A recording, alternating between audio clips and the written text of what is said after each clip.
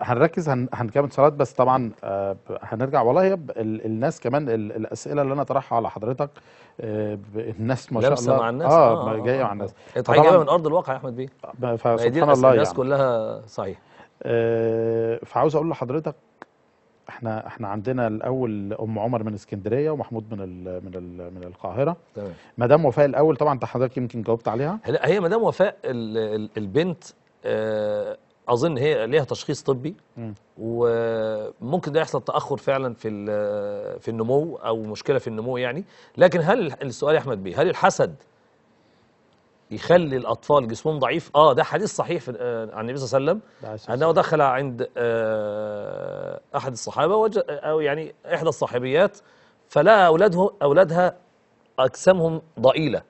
فقال يعني ما لي أرى أجساد أخي آه، أبناء أخي ضارعة. آه، آه، نحيلة. أم انفاقه ما عندكوش أكل. قالت بلى يا رسول الله ولكن العين. تسرع فيهم. يعني بتحسدوا أفلا أرقيهم؟ قال بلى أرقيهم. النبي ما قالهاش لأ. ما قالهاش ده جهل. ما قالهاش لأ. اكشف على الناس على العيال دي عندهم مرض طبي ولا حاجة. لكن هو أقرها إن العين تعمل كده. ممكن تخلي الأولاد أجسامهم صح. ضعيفة. يعملوا إيه بقى؟ فابدا النبي صلى الله عليه وسلم علمنا هدي النبي صلى الله عليه وسلم هو خير الهدي. إن أنا أرقي أولادي الصلاة بالمعوذات لا أروح بيهم لشيخ ولا أجيب حتى جا- شيخ الجامع. أنا أرقي أولادي بالمعوذات فقط لا غير.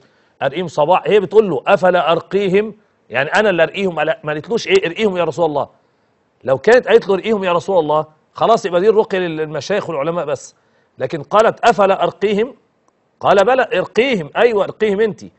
فالواجب على الآباء والأمهات إنهم يرقوا أولادهم خاصة لما يلاحظوا فيهم تغير غريب ملوش سبب. تمام إحنا